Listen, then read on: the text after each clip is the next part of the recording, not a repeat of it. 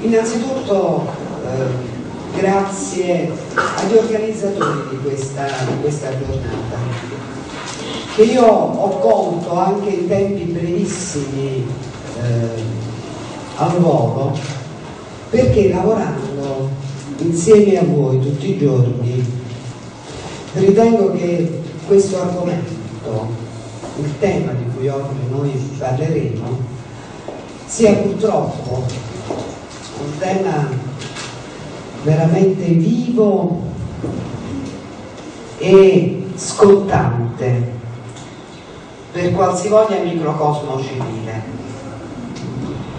Io non solo vi invito come sempre all'ascolto, cioè ad aprire occhi ed orecchie, ma vi invito a partecipare.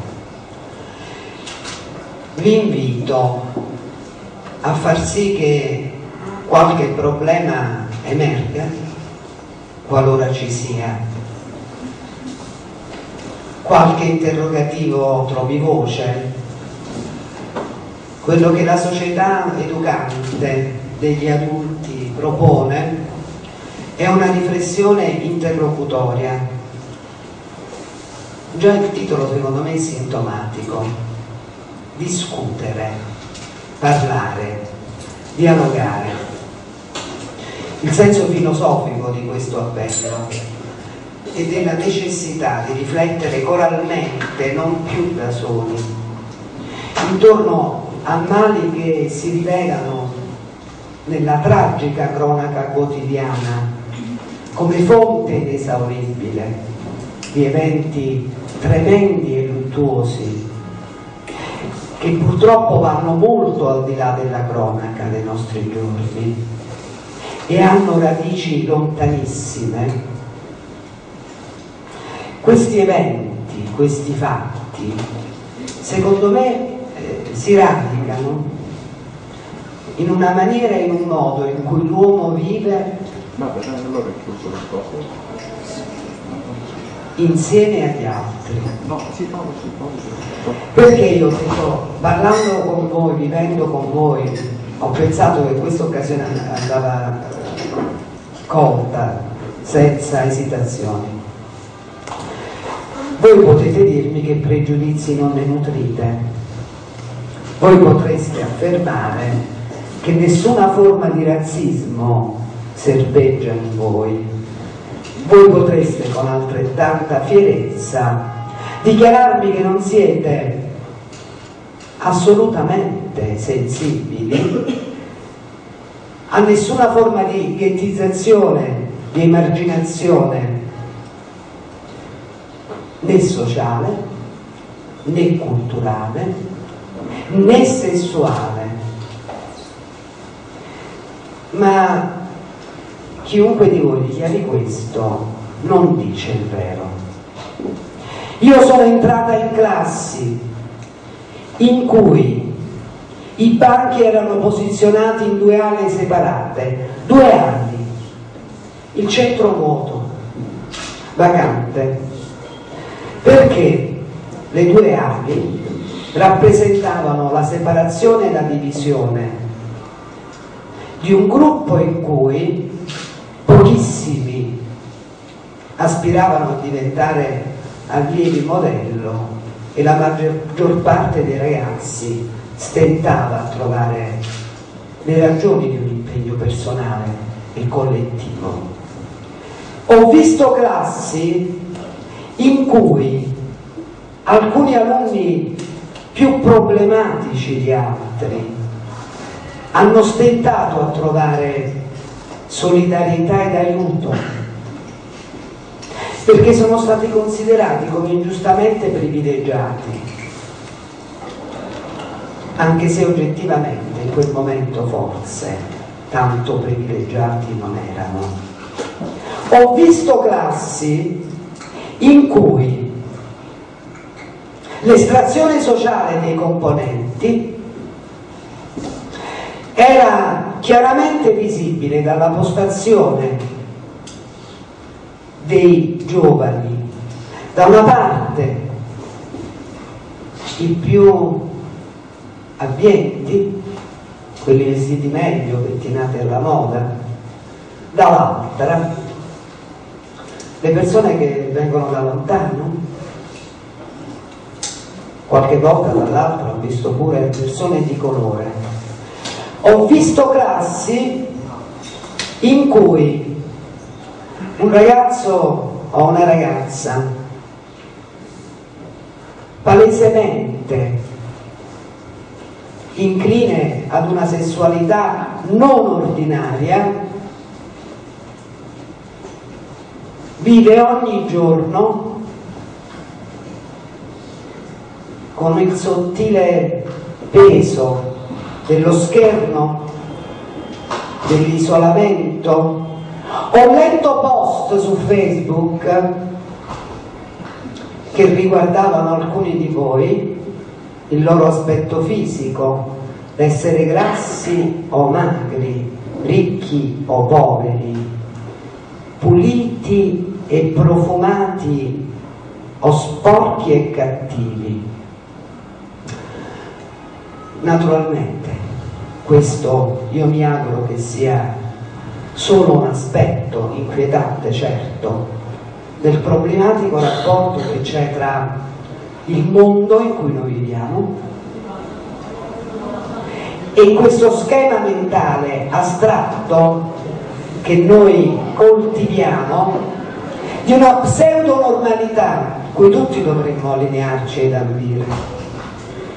Un grande scrittore che qualcuno di voi avrà letto, Pierpaolo Pasolini, scriveva in anni lontanissimi, negli anni 70, in cui sembrava che proprio l'universo giovanile fosse ormai mutato definitivamente, che spazio per alcune ghettizzazioni non ce ne fosse più, l'amore libero, una sessualità riconosciuta, la lotta eh, politica e sociale del movimento studentesco, ma lui era un omosessuale, lui non era un allineato, pur avendo parteggiato per il Partito Comunista per molto tempo. Lui era un diverso e sapeva di esserlo. E la fine di Pierpaolo Pasolini ne è testimonianza. Poche parole e poi lascio la voce ai relatori che avranno sicuramente cose più sensate di me da dire.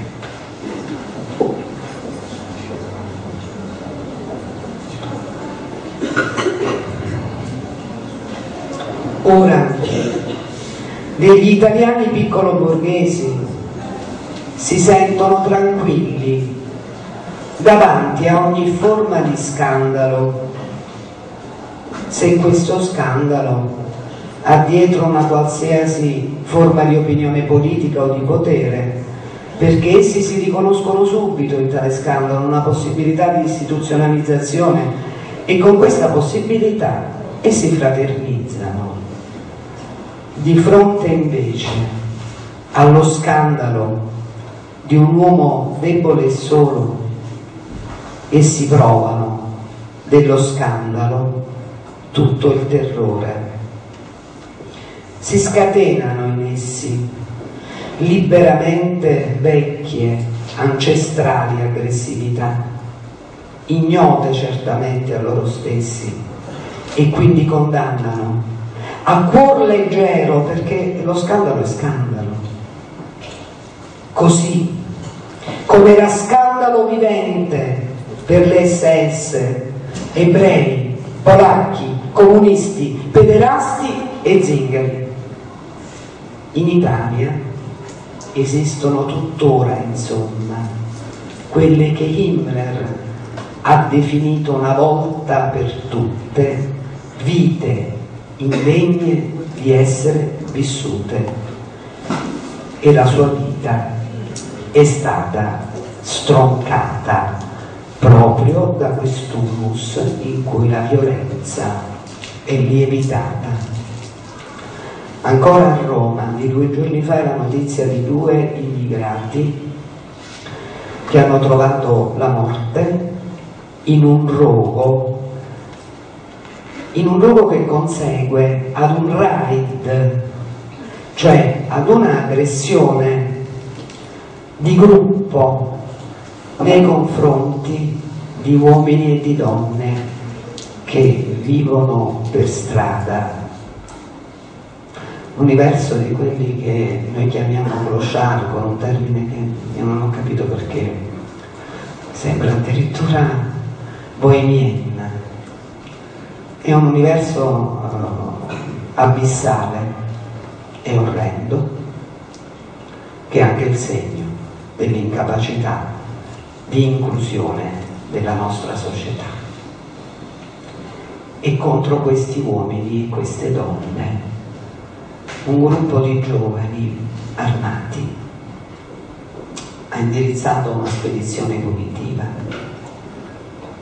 Il numero degli scomparsi, dei desaparecidos delle nostre città è sempre più elevato, qualche volta noi non sappiamo quanti muoiono specie se questo avviene a Rosarno dove i neri non sono registrati, per le strade dove non sappiamo quanti esseri viventi vivano. E allora interroghiamoci pure, parliamo. E se c'è qualche pregiudizio da sbangare, questo può essere uno dei luoghi in cui all'ignoranza, alla protervia, alla violenza e anche alla paura. A quella paura che Ottavio Cecchi diceva essere caratteristica dell'uomo di dimora nei confronti del viandante. Noi siamo uomini di dimora, difesi dalle nostre case protette e nei confronti degli andanti abbiamo lo stesso orrore che Pasolini dichiarava essere a monte del rischio che il razzismo ritorni, che il razzismo serpeggi, che il razzismo sia dentro di noi. Doloroso? Forse sì. Ma siete sufficientemente adulti per tollerare il peso di quello che vi stiamo consegnando e ripeto per aprire la mente e il cuore e abbracciare nuovi progetti esistenziali che escludano ogni forma di pregiudizio. Grazie.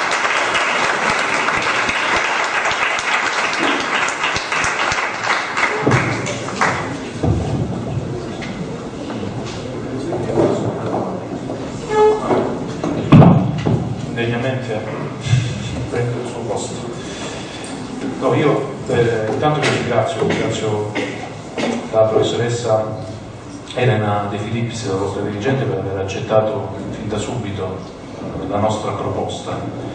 Io sono Giuseppe Valentino, in questo momento eh, dirigo la CGL di Catanzaro. La CGL è un sindacato, è il sindacato maggiormente rappresentativo in Italia e eh, un sindacato è un'associazione di lavoratori per sintetizzare ed estremizzare il concetto, perché quando parliamo con giovani della vostra età è, difficile sempre raccontare cos'è e cosa serve un sindacato.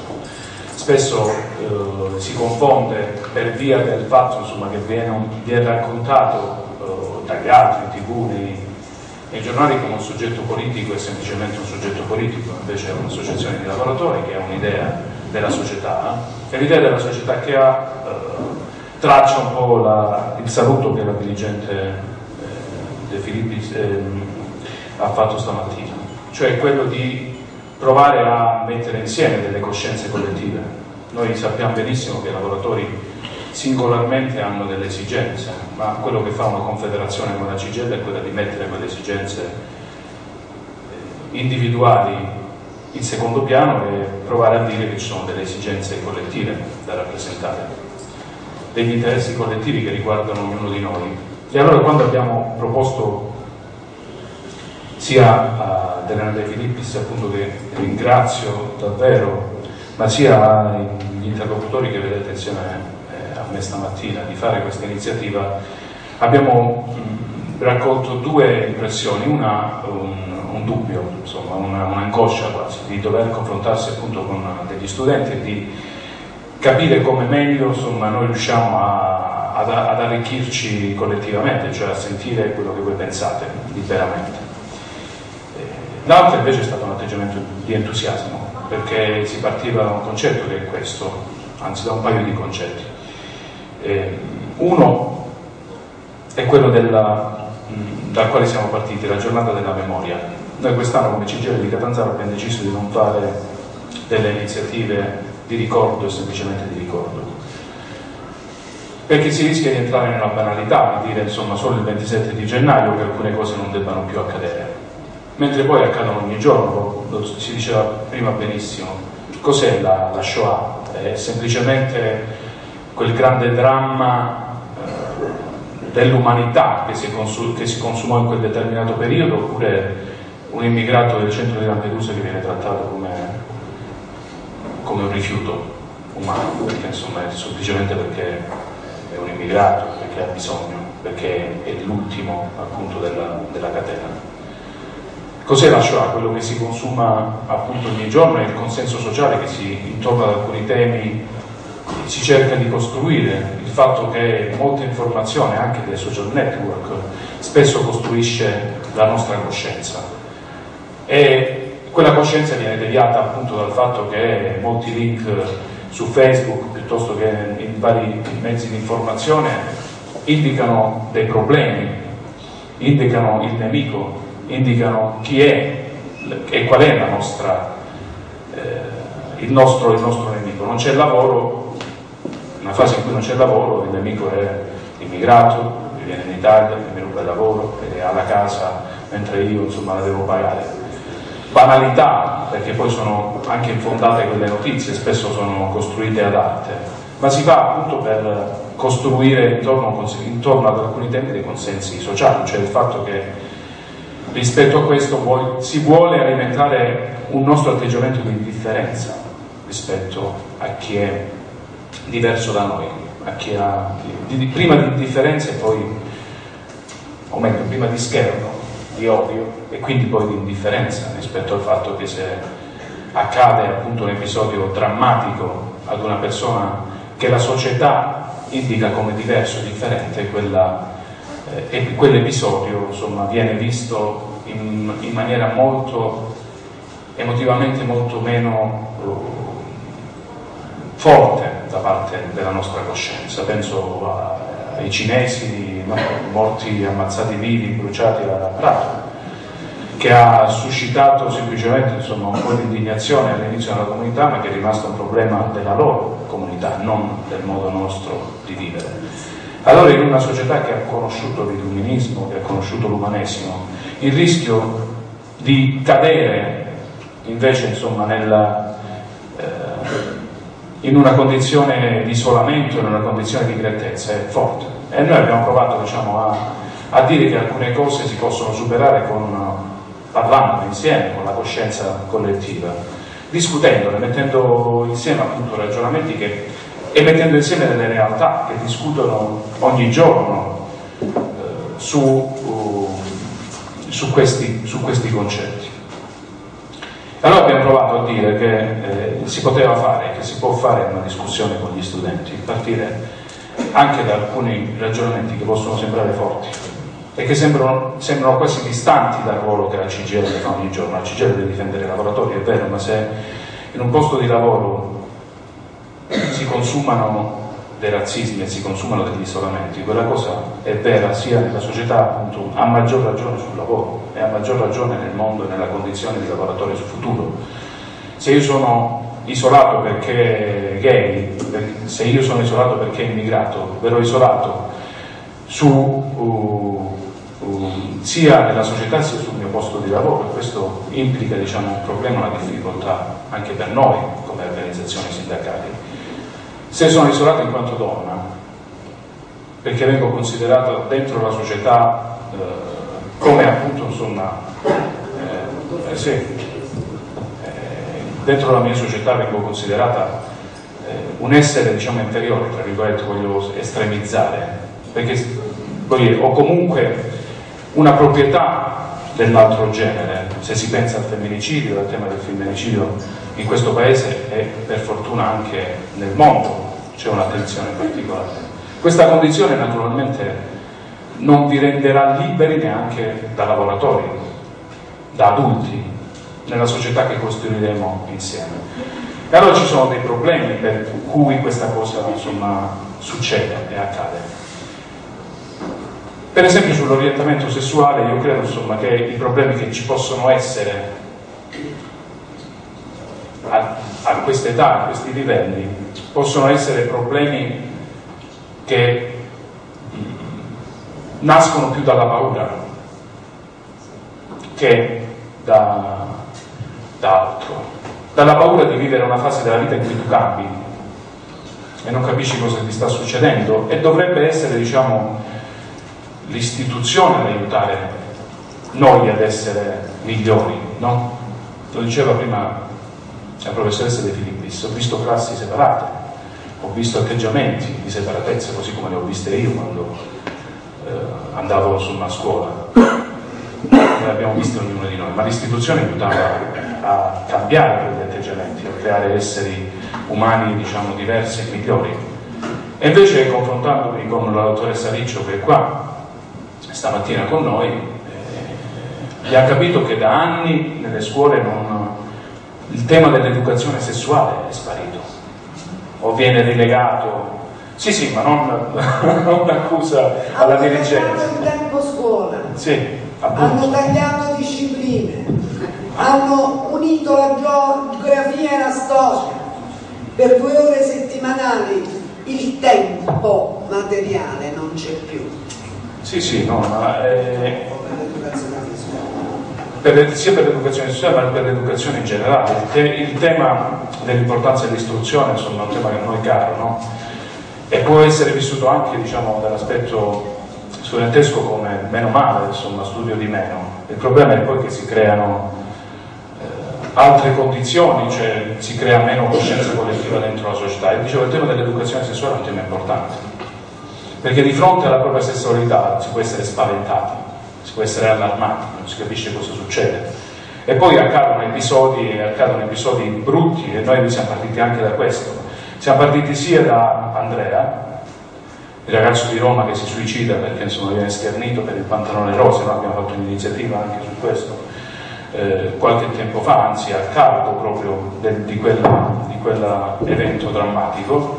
Accade a Reggio Calabria quotidiano ne ha parlato ampiamente, Matteo Cosenza è qui ed è il direttore del quotidiano della Calabria, per una ragazza che viene schernita perché gli viene trovato il video eh, sul telefonino eh, mentre si masturbava.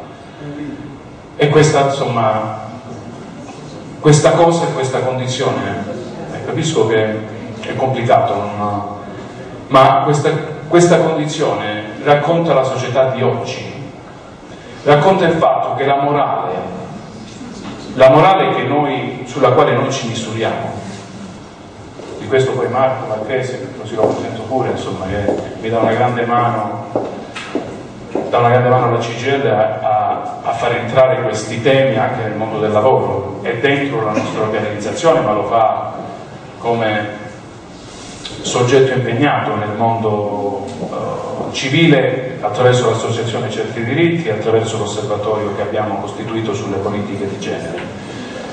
Dicevo, questi sono atteggiamenti, la smetto qua, in cui la morale personale, la propria morale, viene, viene annacquata con la morale pubblica. Il problema è che si mette, si mette davanti la nostra morale personale viene giudicata mentre la, la morale pubblica svanisce, diventa anacquata, tutto è possibile.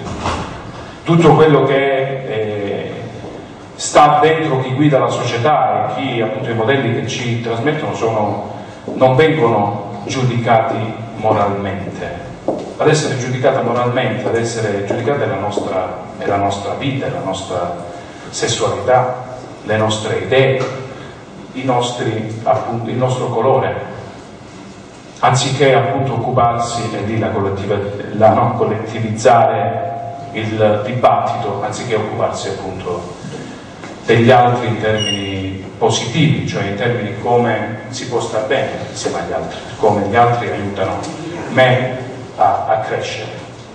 Questo è il periodo che stiamo attraversando, secondo noi, insomma, secondo la nostra analisi, secondo il fatto insomma, che eh, ci, siamo messi a costruire questo, questo dibattito. È da qui che partiamo. Cioè parlare ai giovani per noi significa insomma, tenere accesa la speranza che l'atteggiamento che vive nella nostra società, il fatto che addirittura insomma, i governi cadono dalla sera alla mattina senza che diciamo, noi il popolo ne possa discutere, essere interessato, perché quella è morale pubblica e quindi insomma va da sé, da, da altri ragionamenti, da altri canali, mentre appunto i dibattiti sulla legalizzazione delle droghe, sulla sessualità, sulla nostra vita invece insomma, o sulla, addirittura sulla, sulla vita stessa. Spesso i dibattiti in questo paese più accesi sono stati quelli sulla liberalizzazione delle droghe da una parte e sulla eutanasia dall'altra, cioè sulla, o sull'aborto, eccetera, eccetera, eccetera. E questo paese è riuscito a crescere con delle battaglie in cui la società non è stata indifferente, in cui anche se non è un mio problema me ne occupo, almeno idealmente, ne parlo, faccio, faccio sì che a prevalere non siano gli altri, perché anche qui eh, ad ognuno di noi nella nostra società è richiesto un impegno. Si può stare al centro, pensare che le cose non ci riguardano e, e poi lamentarsi della società che abbiamo perché necessariamente anche quando siamo indifferenti scegliamo, scegliamo di non opporci a tutte quelle cose di cui parlavamo e che non abbiamo appunto insomma, scelto di eh, contrastare. Io la chiudo qua e passo la parola a Marco Marchese per le sue considerazioni. Grazie.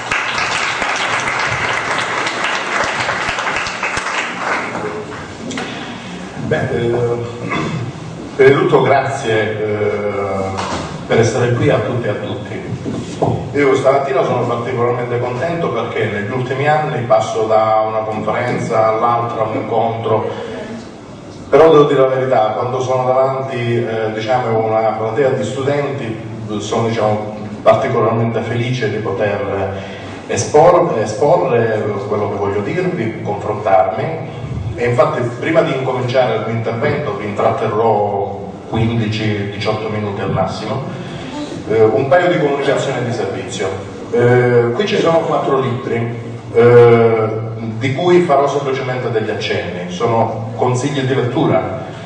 Consigli di lettura a mio avviso non banali, io poi dopo, dopo che ve le esporrò li metterò qui, quindi quando finisce l'incontro se qualcuno di voi ha voglia, piacere di prendere un appunto e magari sceglierne uno e leggerlo, procurarselo e poi dopo leggerlo, eh, sarò lieto, oppure con, eh, se volete fare una foto alla copertina con uno di questi fantastici strumenti, voglio dire, fate prima invece dell'appunto e poi ve lo procurate e ve lo leggete. Dopo, dopo alla fine, chiaro, alla fine, alla fine li metterò qui, li lascerò a disposizione. Altra comunicazione di servizio, lì c'è un, una telecamera, che è la telecamera di Liberi TV, una web TV, eh, per cui questo incontro, incontro, non va sprecato, cioè nel senso che non nasce e non muore nel momento in cui si celebra, vale a dire adesso, però a partire da fra un paio di giorni potrà essere fruito e magari con la speranza che potrà fare il giro delle vostre bacheche Facebook, per cui allargare un po' il bacino di utenza eh, sui temi di cui eh, andiamo a trattare. Io sono mm, Marco Marchese, rappresentato Giuseppe Insieme a lui eh, reggo la responsabilità dell'Osservatorio sulle politiche di genere e pari opportunità, che è un po' un'unione fra l'Associazione Certi Diritti e la CGL, abbiamo stilato un protocollo, abbiamo messo in piedi questo, questo organismo qui a Catanzaro e che si occupa, così come la CGL, così come l'Associazione Certi Diritti, di diritti umani. Poi abbiamo una particolare sensibilità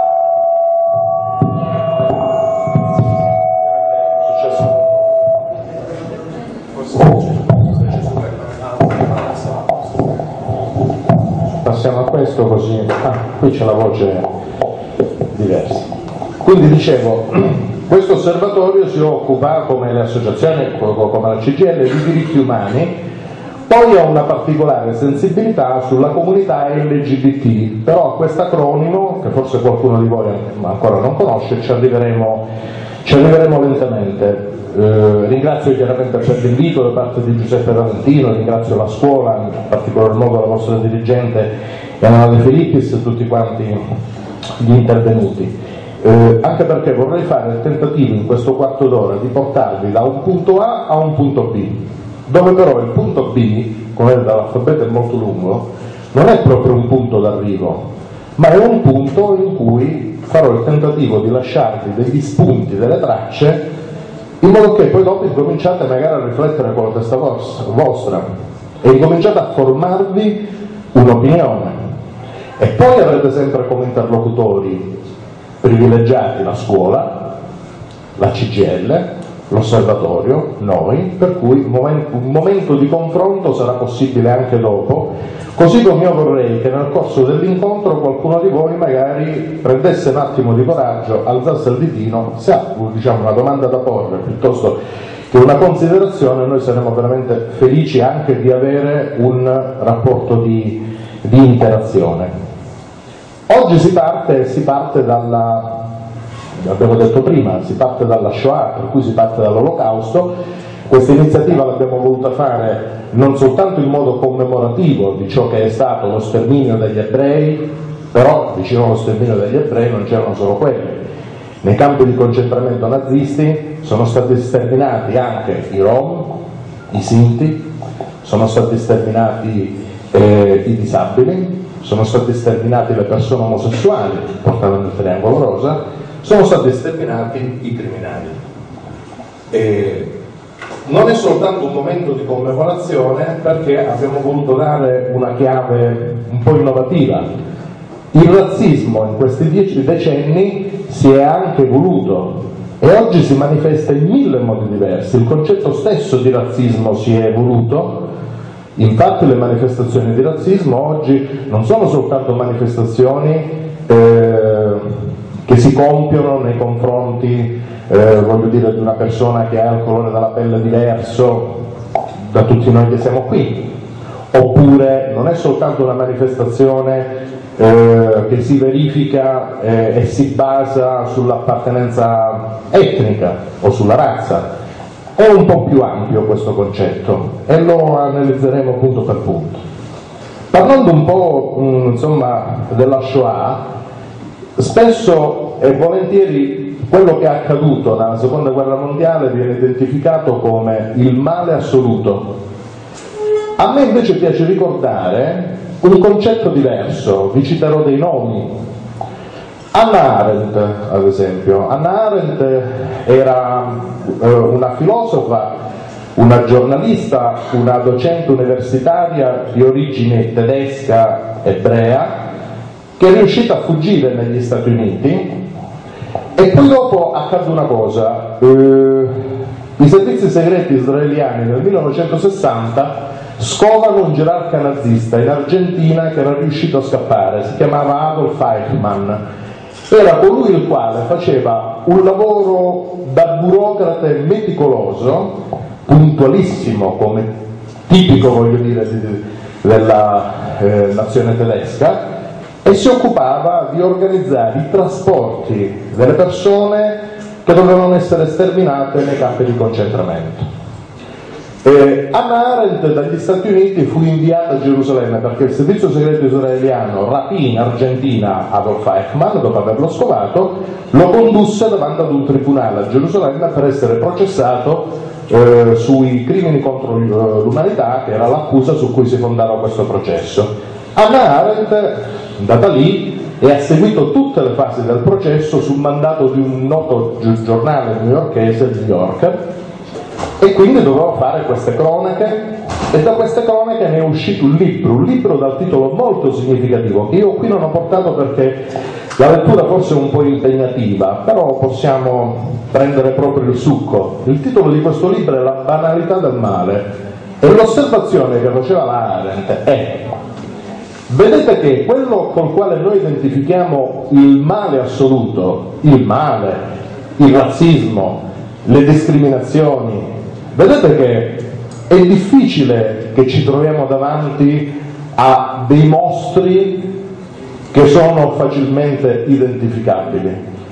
E la prova ne è proprio Adolf Eichmann, che è stato descritto semplicemente come un burocrate che durante il processo c'aveva pure il raffreddore, non parlava nemmeno tanto bene, ma un uomo dalle qualità veramente piccole piccole, rimasto anche lui in un, ingranaggio, incastrato in un ingranaggio molto più grande di lui, e il male si è manifestato veramente con una banalità estrema.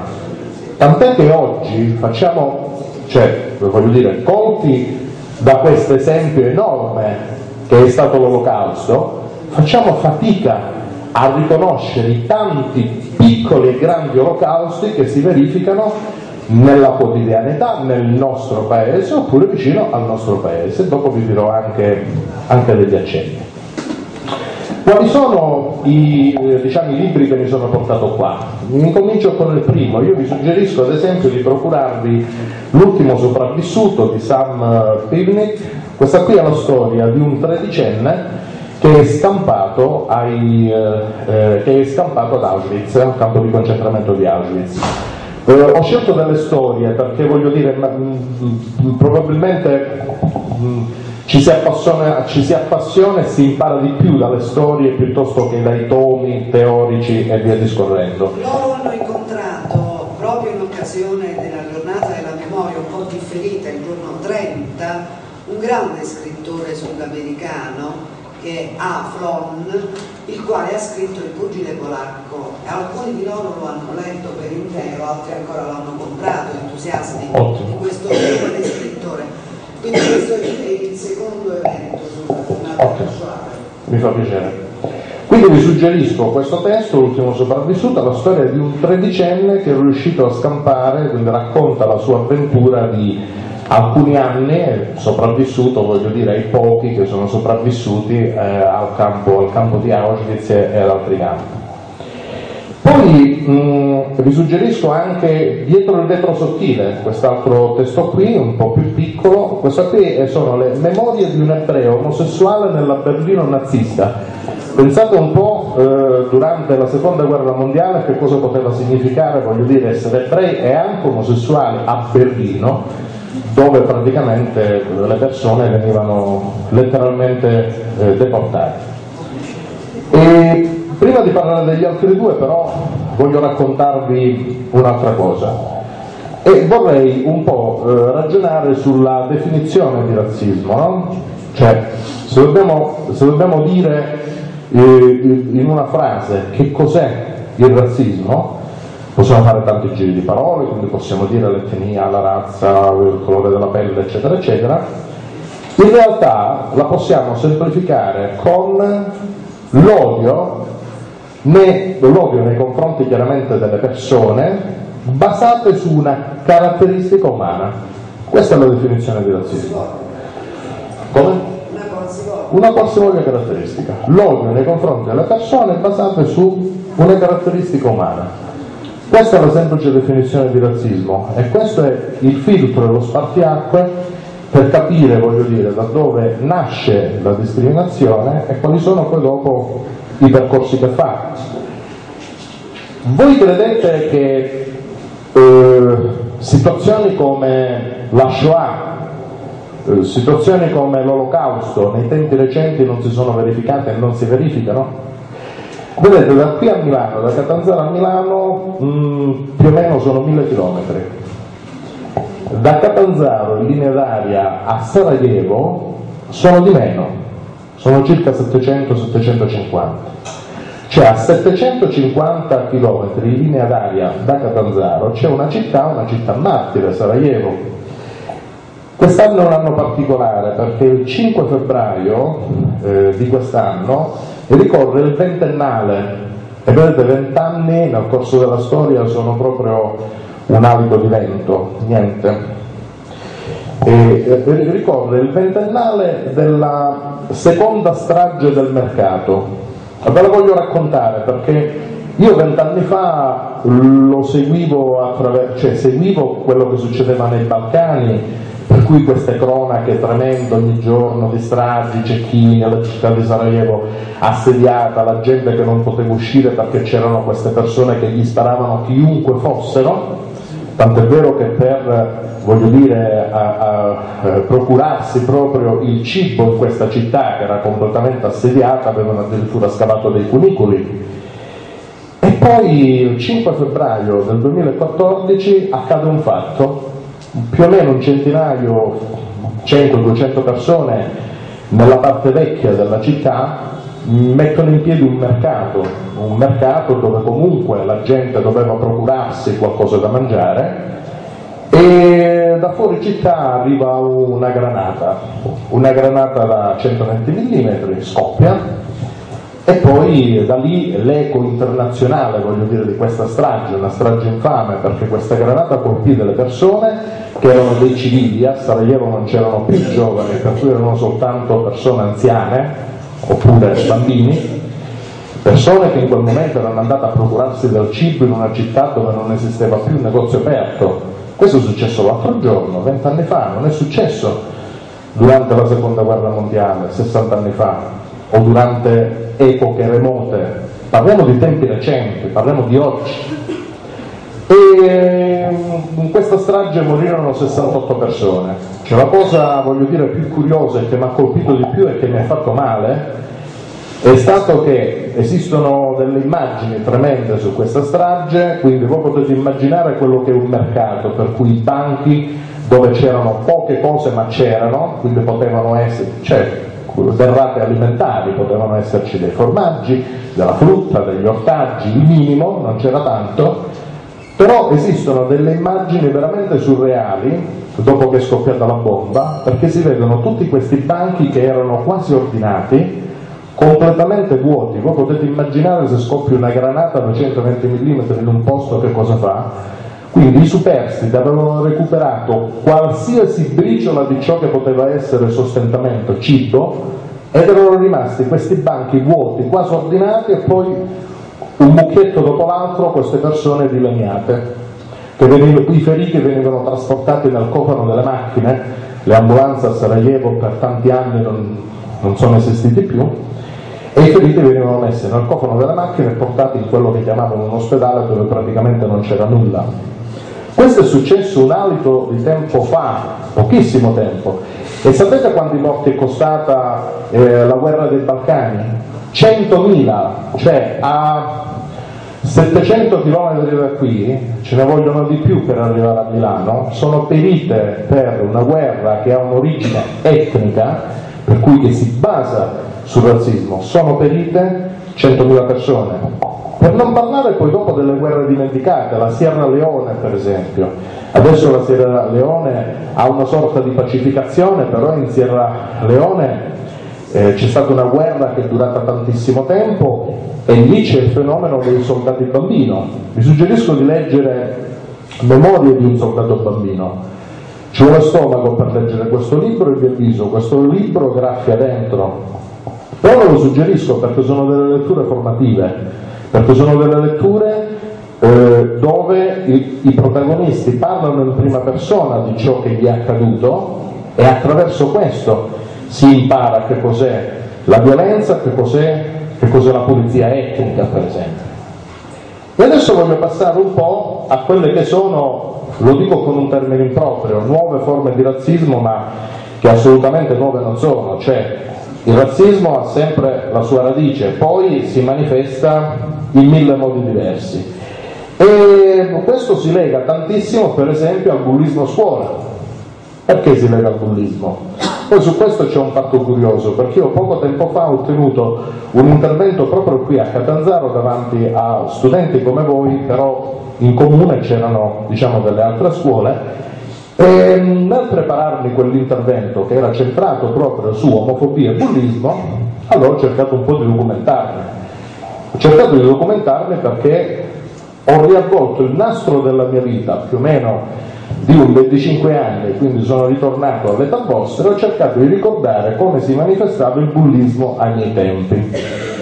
Vabbè, io sono rimasto pure vittima di bullismo perché una caratteristica fisica, sono grosso, attenzione non ho detto grasso, eh, grosso, cioè per me le persone si dividono in grosse e sottili.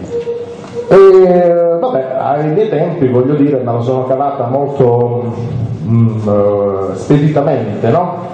perché c'era eh, questo compagno mio, si chiama Emilio, che mi dava contro e fa schifo perché sei grasso, e fa schifo perché sei grosso, andando indietro, poi il giorno che l'ho beccato, proprio nel momento giusto, che c'erano tutti, ma veramente tutti, e ho urlato, e tu fai schifo perché puzzi, ed era vero, era vero, cioè il bullo non si è manifestato più. Però attenzione, vedete, io ho avuto una fortuna ed è una caratteristica. Ho avuto la fortuna di essere una persona resiliente. Forse questo termine non lo conoscete, non so se sapete che cos'è la resilienza.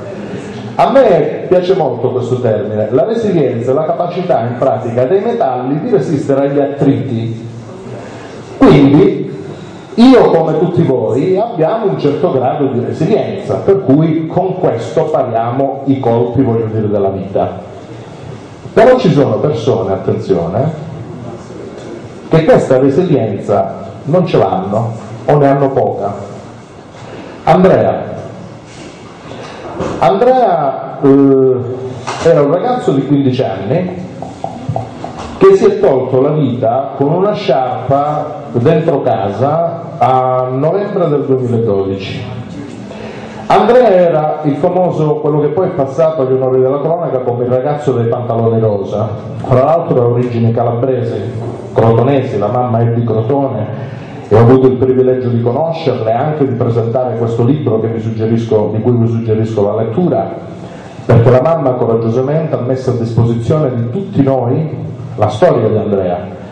Andrea, peraltro, voglio dire, lui si è tolto la vita proprio perché evidentemente era un ragazzo con poca resilienza e questo non è un demerito, perché spetta alla società tutelare meglio, tutelare di più queste persone. E Andrea si è tolto la vita perché qualcuno ha pensato bene di creare un falso profilo Facebook suo dove avevano poi raccolto una foto anche simpatica, voglio dire, di Andrea che indossava per scherzo questi pantaloni rosa che non erano rosa ma non era altro che un pantalone stinto dalla lavatrice con un lavaggio sbagliato. E gli avevano attaccato, gli avevano attaccato addosso eh, l'etichetta di omosessuale. Lui che poi paradossalmente neanche lo era omosessuale perché stava dietro ad una ragazza, per esempio, no? Eh, però eh, dai oggi, dai domani, poi la scritta sulla scuola, poi eh, gli sms, poi tutto quello che è venuto sulla sua bacheca Facebook ha fatto in modo che un giorno la sua vita si spezzasse. E la madre eh, ci ha consegnato la sua storia. Per cui vi suggerisco di leggerlo questo libro, perché anche questo qui è formativo. E riprendendo un po' il concetto di prima, no? riavvolgendo il nastro eh, dalla mia vita di 25 anni, allora mi sono ricordato che ai miei tempi a scuola c'era tutta una varietà di, di caratteristiche sulla cui base eh, scattava, voglio dire, la manifestazione del bullismo, per cui lo sfottò anche pesante. E c'era quello grosso, c'era quello sottile, c'era quello col collo lungo, per arrivare poi dopo a cose diciamo dove ci si accadeva un po' di più, no? Ti portava gli occhiali, era visto, oggi è una cosa che fa ridere, no? Cioè, oggi ti porta gli occhiali, dire, non è che viene preso di mira, miei tempi sì. Poi c'era l'onta, cioè l'onta era l'apparecchio ai denti, cioè chi aveva l'apparecchio ai denti era proprio condannato nel senso allora oggi ho fatto un po' un esperimento, ho preso, cioè, ho, ho, avuto la fortuna di parlare con un adolescente, ma veramente qualche settimana fa, che porta l'apparecchio, e ho detto scusa, ma eh, ti crea problemi qualcuno il fatto che porti l'apparecchio ai denti? Perché ai miei tempi era una cosa proprio tremenda, cioè, l'apparecchio, ho detto no, perché dovrebbe crearmi problemi a scuola? Ah sai, ai miei tempi eh, si, prende, si, veniva preso in giro, cioè, ma pesantemente, ho detto no, il mio apparecchio me lo invidiano, te lo invidiano? E come mai te lo invidiano? Sai, mi dice, papà ci ha messo bei soldini. Ma non è tanto questo. Io fra tre mesi che lo tolgo avrò una dentatura perfetta. Chi me lo invidia? No. Vedete come cambia un po' il paradigma? Però fate attenzione. 25 anni fa c'era l'offesa peggiore che è rimasta oggi, anzi si è aggravata. Volete sapere qual era l'offesa peggiore dove si manifestava il bullismo 25 anni fa? Qual era la parola sul... cioè con che si veniva offesi, derisi e discriminati? Con il termine frocio, accompagnato poi da tutta una serie di aggettivi che non ripeto per rispetto di tutti. Ora no, vero? Oggi, Oggi no. oggi le manifestazioni... Non è un'accusa oggi, il frocio. Non lo usate come ingiuria. Oggi, Una domanda, sì o no? vabbè, de- deci- decisamente, decisamente sì, perché ho diciamo un dato un po', ho un dato un po' sconfortante, cioè oggi non vengono presi più di mira le persone se hanno il collo lungo, se sono grosse, sottili, se portano gli occhiali, meno che mai l'apparecchio ai denti vi ho raccontato, ma oggi l'80% delle offese che vengono consumate proprio nelle scuole si batte, cioè l'offesa peggiore è rimasta frocio. E questo qui ci dà, diciamo, mi dà, eh, mi, mi dà l'occasione, e mi avvio verso il termine del mio intervento, per parlare un po' di che cos'è eh, l'omosessualità in realtà e che, e che cos'è questa manifestazione di offesa che si esplicita no? col termine froci. Vedete, l'omosessualità è una caratteristica umana, cioè non c'è bisogno di un trattato enorme oppure di un milione di parole per dire che cos'è. Il 17 di maggio del 1990, per cui 24 anni fa, un'organizzazione che non è la bocciofila che sta sotto casa mia, ma l'Organizzazione Mondiale della Sanità, ha dato la definizione ufficiale di omosessualità.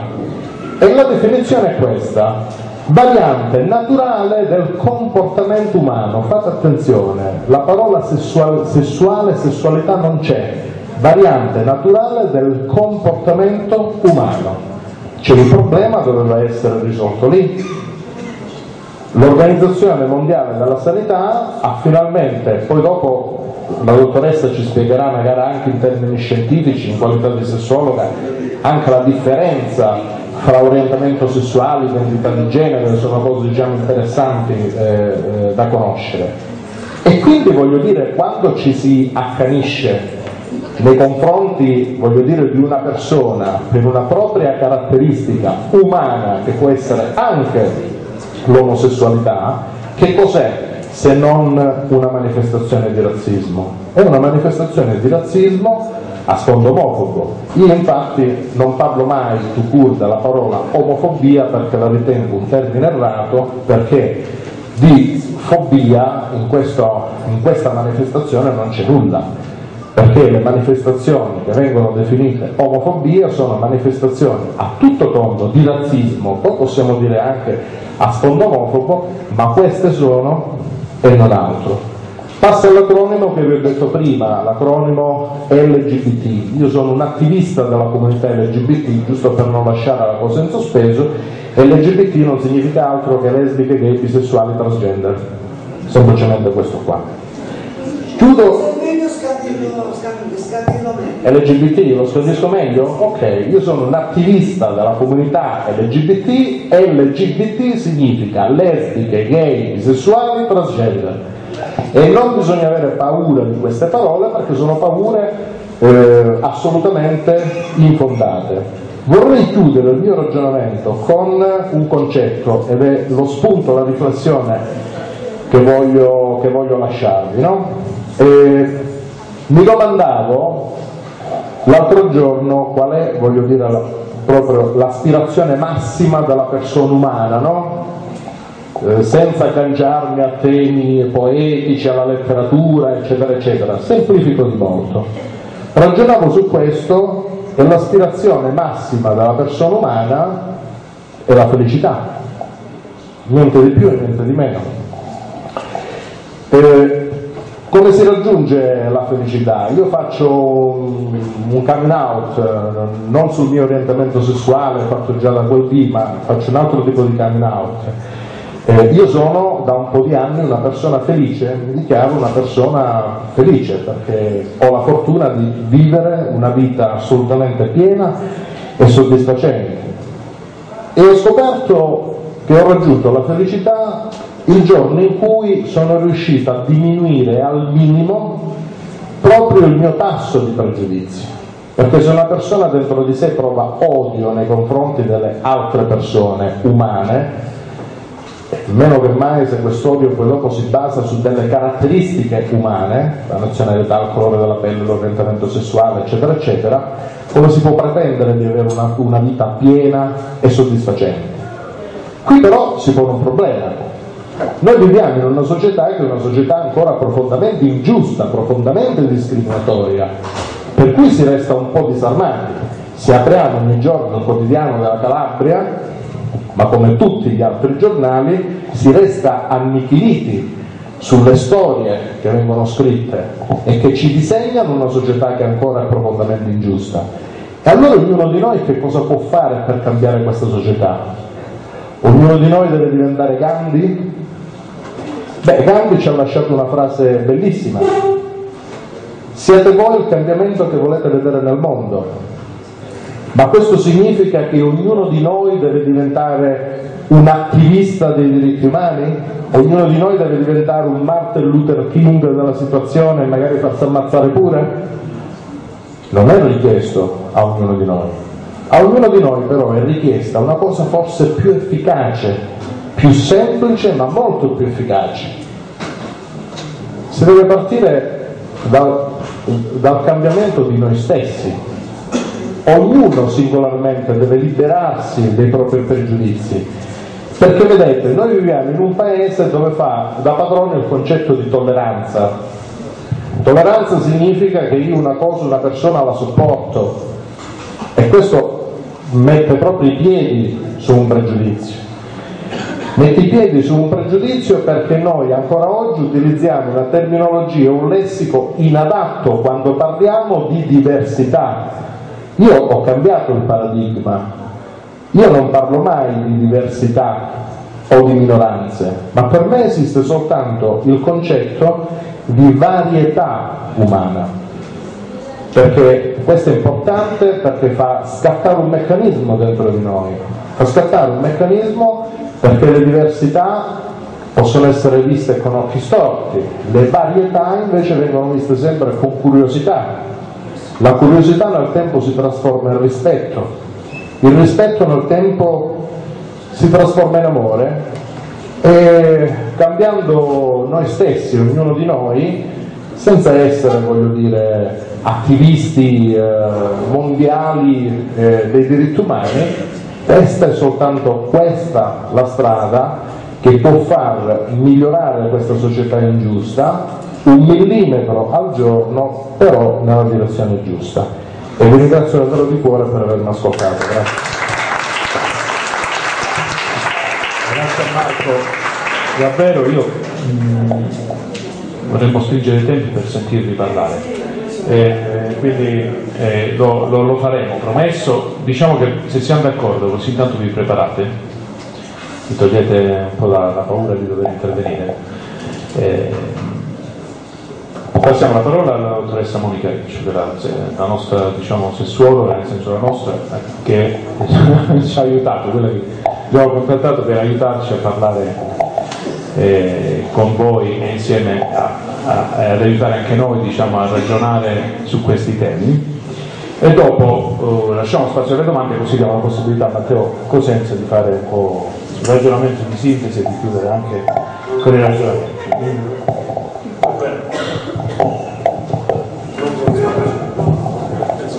Ok, buongiorno a tutti ragazzi. Io ringrazio loro che mi hanno invitato. Io mi presento solo un attimino, mi chiamo Monica Riccio, mi occupo di psicologia clinica, di psicoterapia e sessologia. Quando mi hanno invitato a questo incontro la cosa che mi ha fatto un grande piacere è avere una platea di ragazzi e mi chiamano la dottoressa rivoluzionaria. Perché? Perché io dove ci sono i ragazzi sono sempre in primis mi metto a disposizione delle scuole e faccio solo una piccola promessa e non me ne voglia il dirigente scolastico per quello che dico, perché io sono stata un'attivista della sessologia nelle classi e nelle scuole, soprattutto ho iniziato con le scuole medie. Quando mi è stato proposto questo l'ho fatto per un anno di puro volontariato, mi sono offerto, ho fatto educazione sessuale, hanno visto i risultati, anzi la premessa era, dottoressa, avrete delle classi che sono un disastro. Io ho tutto visto che classi di un disastro perché i giovani, quando io mi rapporto con i giovani, o sarò io o sarà l'argomento, comunque mi stanno ad ascoltare, nessuno è mai stato scorretto nei miei confronti, nessuno ha mai fatto battute e doppio senso, mi hanno ascoltato e hanno appreso. Risultato, il preside mi dice facciamo un'associazione, cioè faccio un'associazione, mi metto a disposizione con quattro colleghi, creiamo un'associazione unica in Calabria, che era il centro di sessologia della Calabria Onlus. Specifico Onlus perché quando dopo neanche sei mesi di apertura di questo centro vengo contattata dall'Agenzia delle Entrate che mi dice che non si poteva più fare un onlus con questo centro perché onlus significa eh, darsi da fare per i bisognosi, tra virgolette. Quindi ascoltate e tremate qui il direttore che mi ascolti un attimo. La sessologia non è stata potuta fare nelle scuole come onlus perché potevano partecipare solo ed esclusivamente i bambini e i ragazzini disagiati. Quindi il ragazzo che non era disagiato e che magari aveva difficoltà come ha detto prima Marco, di orientamento sessuale, di disfunzioni sessuali, ahimè si riteneva, perché non erano, i ragazzi non potevano partecipare a queste lezioni. Quindi io l'ho fatto per l'anno che mi spettava, dopodiché a malincuore veramente ho chiuso l'associazione e non ho voluto più sapere.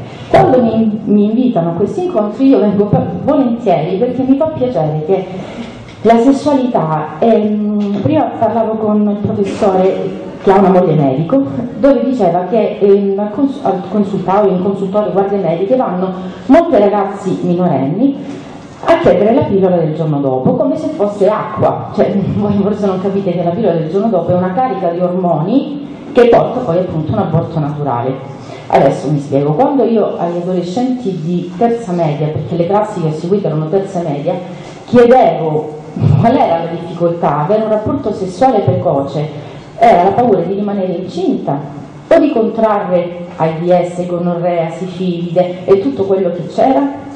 E ahimè il problema era rimanere incinta. Cioè quindi poi contrarre un AIDS o contrarre la gonorrea poco importava.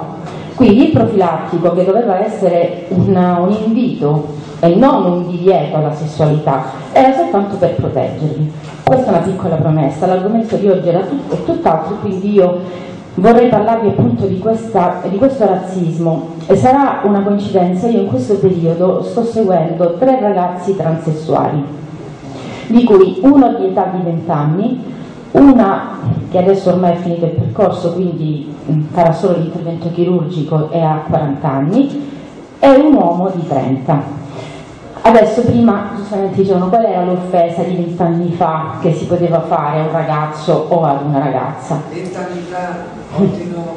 Oggi no perché è cambiato il termine, cioè oggi se si vuole offendere qualcuno lo chiamiamo transessuale, lo chiamiamo eh, transgender, chiamatelo come volete, ma frocio non è più tanto offensivo come vent'anni fa. Oggi è offensivo il trans, perché il trans è quella persona, se voi non lo sapete, uomo o donna che sia, che ha un corpo che non sente suo, quindi ha delle gravi difficoltà psicologiche con tentativi di suicidio alle spalle, quindi la Dio di questi tre nessuno è riuscito, che però non viene capito, perché come faccio a dire a un mio coetaneo di 20 anni che ho un corpo di uomo ma mi sento donna? Non mi capisce. Poi eh, cyberbullismo, o comunque non so se avete sentito parlare di sexting, Avete sentito parlare di questo termine? No, il sexting è una, quello che fate comunque voi tutti i giorni, presumo, mandarvi dei messaggi, con la differenza che sono dei messaggi a sfondo sessuale. Quello che forse non so che la maggior parte sa, o comunque io lo ripeto, il messaggio che viene inviato, video che sia, o messaggio scritto sempre tramite cellulare che viene inviato, anche se ci si pente di averlo inviato e viene cancellato, non è cancellato, è entrato in rete e entrare in rete significa diffondere questo messaggio. Quindi l'osservazione che faceva prima ehm, Giuseppe era la ragazza di Reggio Calabria che aveva fatto un video sulla masturbazione che poi è stato mandato a tutto il mondo perché poi entra in una rete che la vede tutto il mondo una domanda iniziale è perché la ragazza deve comunque sì? Eh, la, la, domanda si potrebbe, ma perché la ragazza ha dovuto fare un video e poi comunque pubblicarlo? E anche se qualcuno l'ha estrapolato, l'ha sempre pubblicato lei o se vogliamo essere più cattivi qualcuno l'ha preso e l'ha pubblicato, ma perché ha fatto questo video? Perché ci sono dei messaggi di aiuto, dei messaggi di, um, di essere ascoltati, di essere capiti, di essere considerati, che forse il modo per essere considerata di questa ragazza, io lo sto soltanto ipotizzando perché non conosco la persona, ma mi baso su quello che arriva a me, arriva a me allo studio, alla disperazione di queste ragazzine, di questi ragazzini che non vengono ascoltati, che non vengono calcolati, perché ognuno ha i suoi problemi. E allora preferiscono venire in uno studio, affrontare una terapia, perché qualcuno per un'ora l'ascolta. Allora, questa ragazzina probabilmente come Andrea, Andrea sicuramente è stato vittima di cyberbullismo, però c'era una fragilità di base, io non penso che quasi tutti i ragazzi che sono qui, se indosseranno un pantalone rosa, verranno poi alla fine a tentare un suicidio. Probabilmente c'è una fragilità.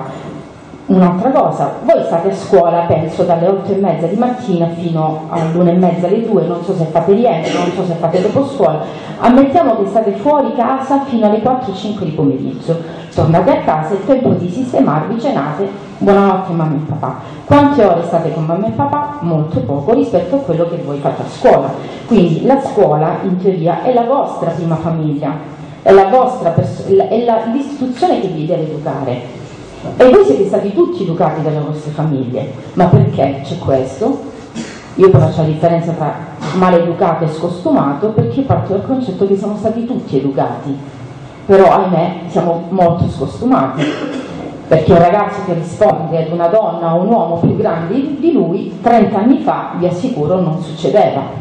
Se 30 anni fa il genitore veniva segnalato dal docente perché il figlio era uno scostumato, il genitore tornava a casa e al figlio lo rimproverava, lo metteva in punizione. Adesso no, perché i docenti non possono fare più neanche il loro lavoro, perché se poco poco alzano la voce contro il ragazzo, vengono i genitori e si arrabbiano con il docente. Comunque, al di là di questo... Questo anche è vero, questo anche è vero. E con il preside ancora di più. Quindi forme di razzismo, forme di incomprensione, forme di, um, di non essere di aiuto, ce ne sono. Sono d'accordo con la vostra preside quando dice ho visto classi, ho visto classi, io ho visto gruppi, perché singolarmente, io non so se fate parte di piccoli gruppi o di grandi gruppi, ma singolarmente siete persone brave, buone, intelligenti e rispettose Ahimè il gruppo, da quando si chiama gruppo, è sempre una grande forza.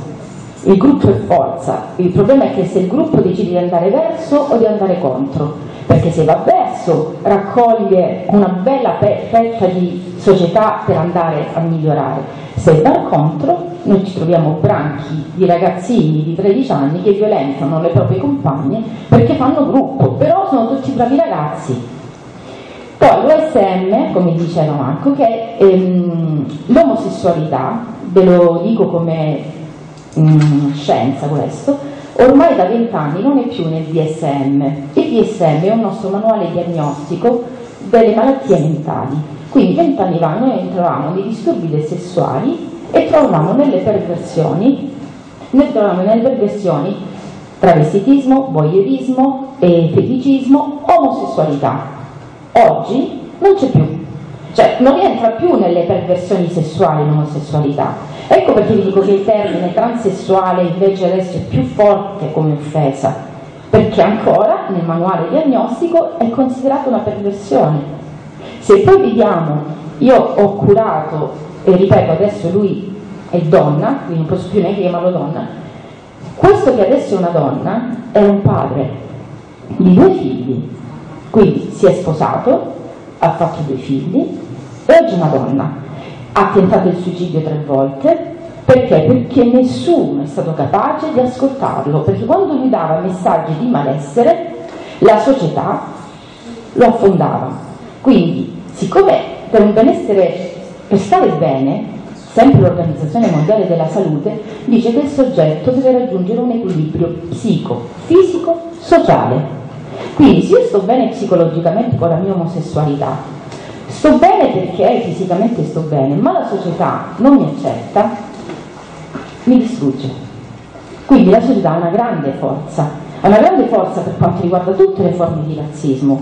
Io sono stata interpellata per la sessualità, per non parlare delle disfunzioni sessuali, perché a me se un ragazzino di 20 anni viene nel mio studio e mi dice che ha un problema di disfunzione erettile, è il ragazzino che invece mi lancia di avere 10 rapporti sessuali a settimana. Perché? Perché la società, eh, se tu hai più rapporti sessuali, sei un grande uomo, se stai zitto in silenzio vuol dire che non l'hai mai fatto, quindi ci inventiamo una bella storia e adesso come faccio? Che mi sono fidanzato e, non ho, e ho problemi di, di sessualità? Eh, andiamo a curarci. Un'altra pillolina, se ho tempo, eh, posso dirla, volevo soltanto fare un appello ai ragazzi, perché le ragazze culturalmente e per educazione conosciamo che cos'è il ginecologo, quindi di solito quando abbiamo la nostra prima mestruazione che si chiama menarca mm, dovremmo andare a fare una visita ginecologica da quel momento in poi, ma se non la facciamo non fa niente, comunque abbiamo idea che cos'è un ginecologo. Quando io parlo con i ragazzi che cos'è un andrologo, non lo sanno. Se lo sanno lo, lo confondono con l'urologo, a meno che non avete familiari, tre padri, medici, quindi forse lo sapete, ma l'andrologo è il ginecologo maschile. Adesso, ritornando sempre a 20-30 anni fa, il militare era obbligatorio, quindi cosa si faceva? Nella visita militare c'era il medico che vi visitava, faceva un esame obiettivo, esame obiettivo significa che visitava il vostro organo sessuale e, capise, e capiva se avevate una piccola problematica che si chiama varicocele.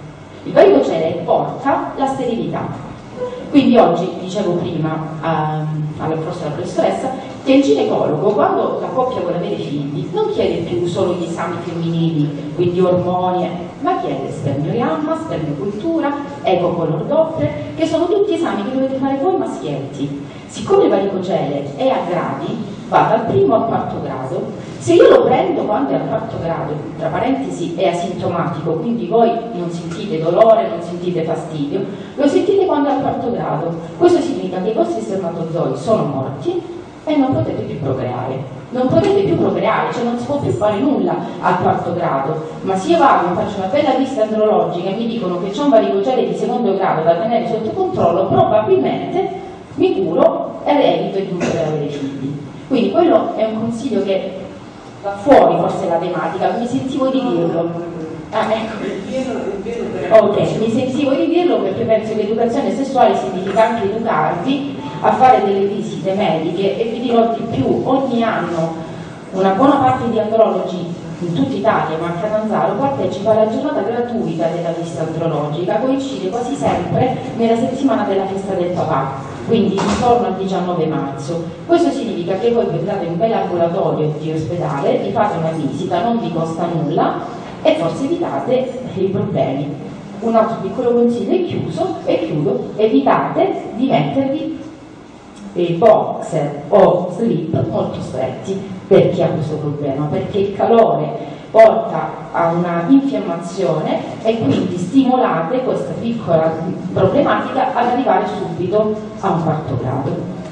Se ci sono domande io sono apertissima, sono con voi sempre perché secondo me i giovani avete soltanto bisogno di ascolto e di confronto. Ho detto prima alla giornalista che un giorno le farò leggere delle domande anonime, che sono anonime, che mi hanno fatto i ragazzini di terza media. E poi gli ho detto, le farò leggere invece le domande che mi hanno fatto quelli del liceo. Poi mi dirà quali sono quelli del liceo e quali sono delle scuole medie. Lei giustamente l'intuito ha detto le più scabrose saranno quelle delle scuole medie. Ma io le ho detto non le più scabrose. Quello che la fantasia pensa, aumentatela. Perché io ho sentito domande che io non l'ho mai fatte, ma in terza media forse giocavo alle bambole, non pensavo agli animali, o ai morti. Quindi quando dico che l'educazione sessuale va fatta in quinta penso che ci sia una perversione tale che la sessualità grazie a internet è, e non è il blocco, perché posso mettere il blocco a un bambino di 5 anni, di 6 anni, ma tanto eh, ci sono gli altri, quindi non ne concludiamo niente. Grazie.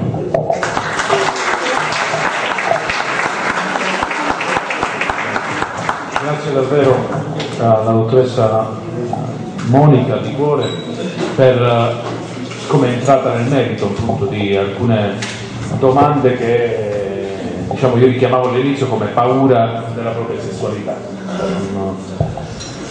Ora ci proviamo insomma a, a dare secondo me il senso vero alla giornata, nel senso aspettiamo considerazioni oltre a tutti, a, tutti in fila all'ambulatorio il 19 marzo. Ci incontriamo là, ma a parte questo insomma qualche considerazione su, uh, su quello che è stata questa giornata. Penso sia interessante se ascoltarla, se ha stimolato qualche curiosità, qualche dubbio. Quindi vediamo po' di tempo per vedere. Allora io eh, vorrei che voi interveniste, vorrei che voi trovaste voce. Inizialmente io vi ho provocato, cioè il mio intervento iniziale è stato provocatorio. Perché tutto quello che ho detto è vero, ma è vero anche il contrario, è vero anche che siete generosi e solidali, è vero anche che siete capaci di grandi atti di eroismo, è vero anche che conoscete l'amore e lo sapete praticare, è vero sia l'una che l'altra cosa. È vero che avete un cuore e un animo grande, secondo me, un intelletto aperto e duttile, quindi ora io vi invito a intervenire, anche perché in questa scuola un po' di educazione, non dico sessuale, ma sicuramente sentimentale viene praticata. Loro stanno facendo un laboratorio, per esempio, alle ragazze di difesa contro la violenza maschile con il centro calabrese di solidarietà. Hanno un CIC che è un centro d'ascolto dove spesso emergono problemi anche di origine sessuale e o discriminatoria e o pregiudiziale, quindi non sono nuovi a un'esperienza di indagine intorno a questi problemi. Chi viene? Forza! Non mi fate pregare per il colmo dei conti. 12 anni di Gutenberg, vi siete abituati a dare voce alle, alle, alle vostre emozioni, no? Forza! Io sguardi incuriositi, risatine ne ho viste. Date voce alle vostre inquietudini. Prego.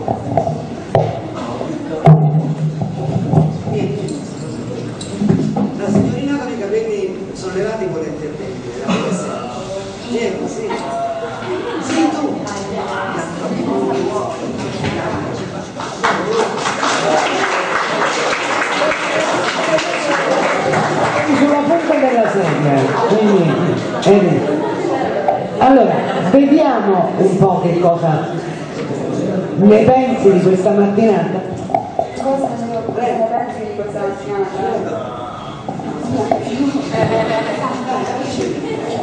ma io non so cosa devo dire a parte il fatto che le persone che adoperano frocio o omosessuale come, eh, come insulto sono, sì, sono le prime che poi inneggiano all'uguaglianza, sono le prime che frequentano i collettivi, sono eh, le prime che... Cosa? Come è pure vero che per esempio tutti quelli che sono per la globalizzazione, per il confronto, per l'abbattimento delle frontiere sono anche le stesse persone che quando vedono un, un immigrato per strada cambia un marciapiede perché, perché io ho paura del, del, rumeno che magari sono da sola, è un giovedì sera, in un piccolo non c'è nessuno, chissà che cosa mi fa. E quindi comunque il razzismo è sempre esistito e continuerà sempre ad esistere come forma di autodifesa per l'ignoranza. E basta.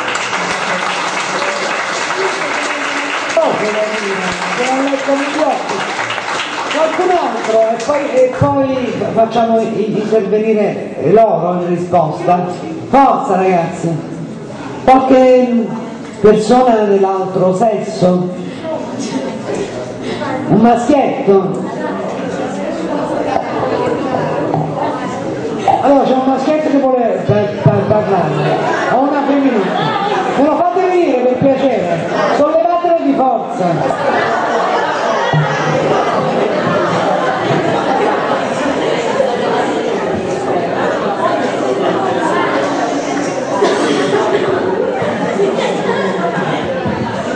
vieni! Sei l'unico maschio che presenti. Forza, vieni, si tratta di esporre la tua opinione, quello che, che pensi.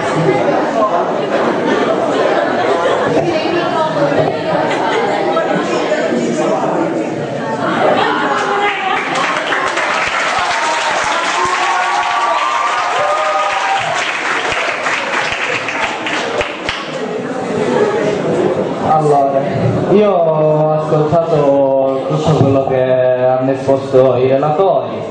E penso che principalmente quando si parla di razzismo e si parla di odio per il diverso, per una persona con interessi diversi dai nostri, quando ad esempio si parla di persone che hanno un'altra sessualità o persone di, di razza diversa, Penso che comunque fondamentalmente il razzismo di oggi sia un razzismo diverso perché si va a scavare di più nell'animo delle persone, cioè è facile identificare una persona e dire tu sei diversa perché hai un colore della pelle diverso dal mio, io sono bianco, tu sei nero, quello sarebbe troppo, troppo facile. E penso che l'animo umano sia più cattivo, sia, sia peggiorato, cioè non basta per sentirsi superiori discriminare il colore della pelle. Penso che il razzismo di oggi sia una cosa che vada a ferire le persone in quello in cui sono più deboli. Quindi ad esempio si va a ferire il compagno più timido, si va a ferire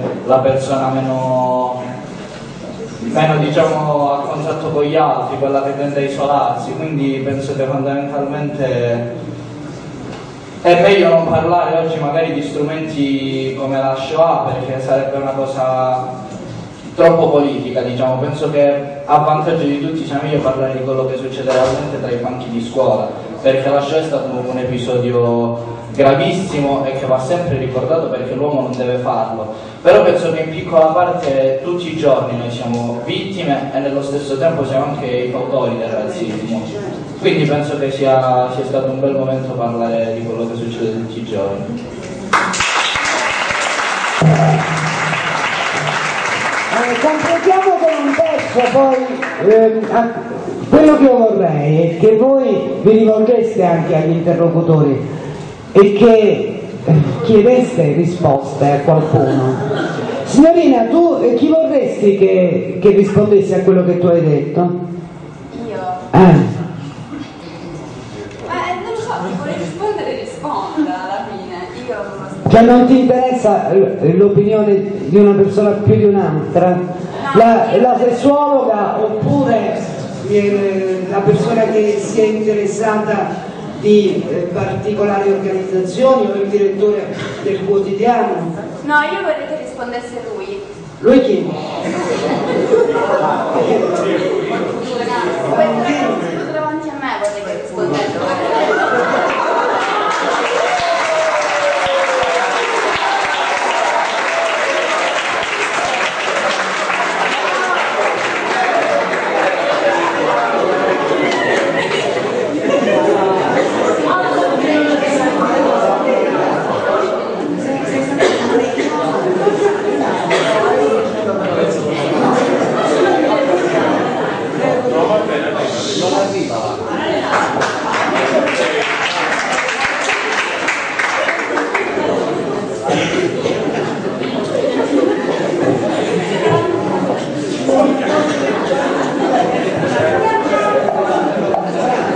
No, secondo me era perché era ragazzo.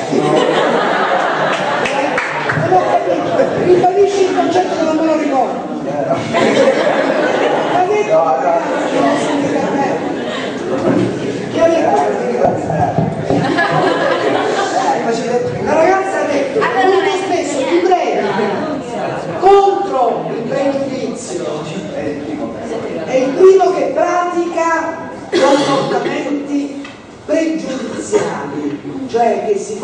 famoso pregiudizio che quelli che dichiarano di non essere razzisti evitano i rumeni e quelli che dichiarano di non avere pregiudizi sessuali spesso offendono i propri compagni.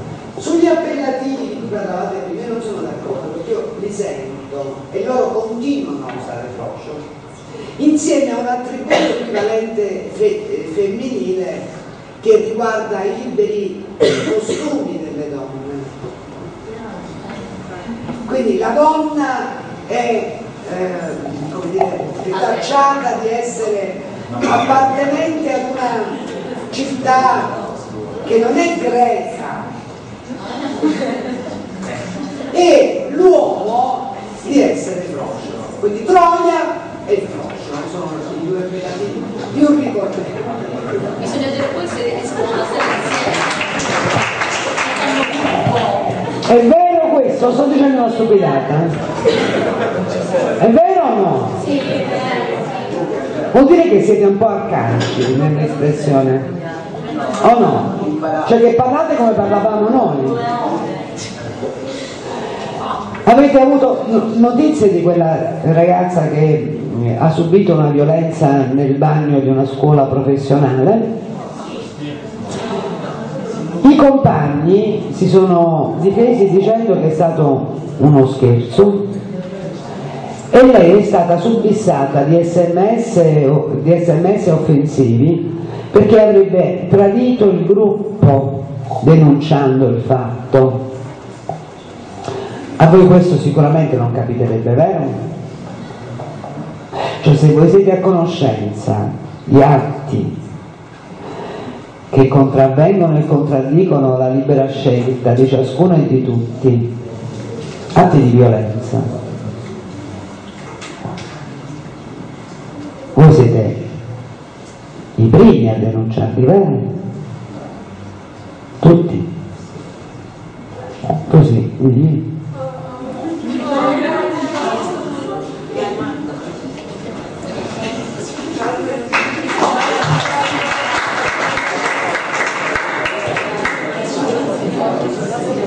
Vabbè, la mia opinione è che comunque va bene essere amici, fare gruppo, uscire insieme il sabato sera, ma quando poi a minare quella che è la dignità individuale, secondo me, cioè, l'amicizia non conta più niente, perché se noi siamo amici tu una cosa del genere non la fai, tu denunci quello che accade, nonostante tutto. Perché una persona che viene, diciamo, violentata in un bagno, in una scuola, comunque un trauma che se lo porta addosso per tutta la vita, non finisce a 17 anni.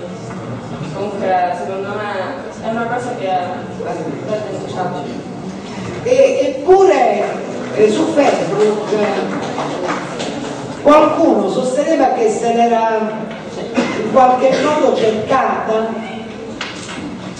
Quindi è una bella ragazza che indulge spesso in incontri sentimentali e o di altra na- natura con i maschi, in qualche modo autorizzi il maschio a pretendere una prestazione o a subirla? Pensi dei maschi? È vero che cer- cercata quella ragazza, secondo voi?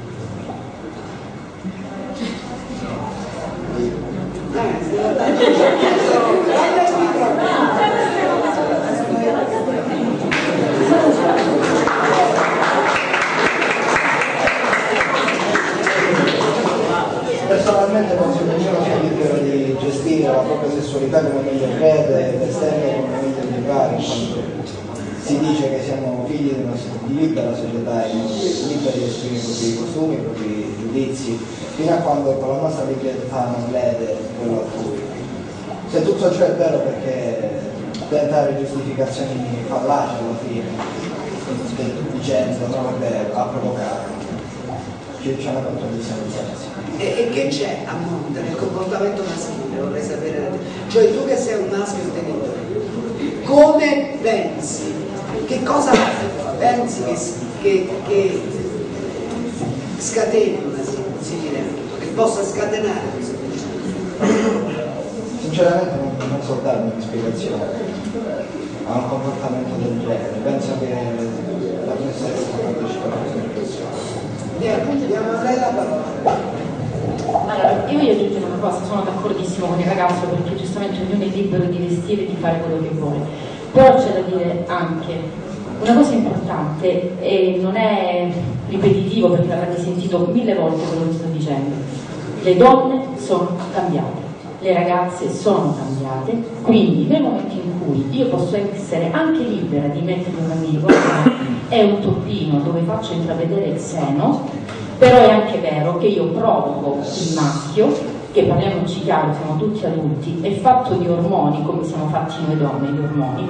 Quindi la ragazza che si prostra un po' verso l'uomo, provocandolo, è vero che l'uomo deve dire di no, cioè deve soffocare i suoi istinti, però stiamo parlando di istinti e quindi nel momento in cui la ragazzina, perché io parlo anche, perché molti ragazzi che soffrono di disfunzioni sessuali vengono da me e mi dicono dottoressa perché la, la ragazza mi ha inibito? Perché la ragazza ormai non ha più limiti, sa quello che vuole, va oltre e quindi questi ragazzi che comunque hanno una loro fragilità e non vado a fare psicanalisi o psicoterapia e vogliono emergere, ahimè cadono nel tranello della violenza perché nel momento in cui poi io sopraffatto e, e vado in un bagno di una scuola a violentare una ragazzina è il mio istinto che è stato soddisfatto, non la mia morale, perché la mia morale è a terra, ma in quel momento era quello che dovevo dimostrare. Adesso questo lungi assolutamente nel dire che siete comunque autorizzati, nessuno è autorizzato e tutti, come dici, hanno la libertà di vestirsi come vogliono però è anche vero che bisogna avere rispetto dell'altro e il rispetto non deve averlo solo il ragazzo verso la ragazza, ma anche la ragazza verso il ragazzo. Quindi se tutti fossero un pochino più, tra virgolette, educati nel camminare, perché ci sono ragazze che hanno classe e hanno stile nel portare una minigonna con un toppino, senza provocare, allora va bene. Però se io provoco, non è vero che me la sono andata a cercare, perché io non me la vado a cercare la violenza, però se io provo, vai, vado oggi, vado domani, vado dopodomani a insistere davanti a un ragazzino mettendomi in condizioni tali da poter fare esplodere un istinto, non significa che mi sono andata a cercare, però puntini sospensivi. Quindi ecco perché io dico che la, la società è cambiata, perché noi donne abbiamo inibito gli uomini e l'orgoglio maschile che è culturalmente innato in ognuno di voi uomini non gli sta bene, non gli sta bene perché questo tra virgolette prendetelo come le pinze non voglio offendere nessuno. Il fallimento maschile oggi non è solo sessuale è lavorativo è un mix. Non si sente soddisfatto non ha lavoro. Voi andate a vedere se voi fate una statistica guardate quanti ragazzi sono più violenti e, e fate una loro vita una cronostoria è tutta gente che o non lavora o che non ha amici c'è il vostro programma preferito, penso che voi ragazzi lo guardate tutti, Lucignolo, che io ultimamente non, penso che non è più come prima, però Lucignolo cosa ti dice? O le Iene, va a intervistare un ragazzino, non so se l'avete visto l'altra volta, che mandava messaggi sessuali spacciandosi per un uomo più grande a una ragazzina. Questa ragazzina ha avuto il coraggio di rispondere, di mandarlo a quel paese e di denunciare il fatto. Lui nell'intervista ha detto l'ho fatto perché mi annoiavo cioè quindi la noia, il fatto di non essere comunque ascoltati e capiti. Eh, l'ho detto prima, è il serpente che si morde la coda, vogliamo dare la colpa e diamo la colpa, ci sentiamo meglio? Però è un serpente che si morde la coda, parte dalla, dalla famiglia e finisce alla società. Quindi è vero come dice Marco, che non possiamo fare i grandi della situazione, però io invece sono convinta che nel piccolo possiamo fare il nostro grandi, perché noi noi soltanto facendo delle opere di bene possiamo migliorare, se continuiamo ad essere, l'hai detto tu, siamo cattivi dentro, cioè non è più il razzismo, è la cattiveria. E quindi io, la cattiveria chiama cattiveria. Non c'è niente da se noi ce ne andiamo in Africa e facciamo i missionari, chiamiamo bontà, perché facciamo i missionari, ma se qui la cattiveria dire la cattiveria continueremo.